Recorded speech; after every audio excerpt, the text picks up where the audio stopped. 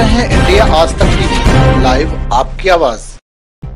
UP के हरदोई में police अधीक्षक ने पिहानी पुलिस की थपथपाई पीठ हरदोई पुलिस अधीक्षक राजेश द्विवेदी पिहानी कोतवाली के वार्षिक निरीक्षण में नहीं मिली कोई कमी। संवाददाता पवन गुप्ता की रिपोर्ट। मुझे उसकी मजबूरियों का पता।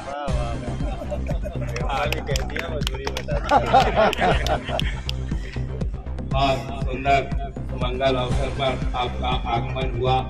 सहयोग बस अब भी फागुनी चलने लगी है। होली भी नज़दीक है।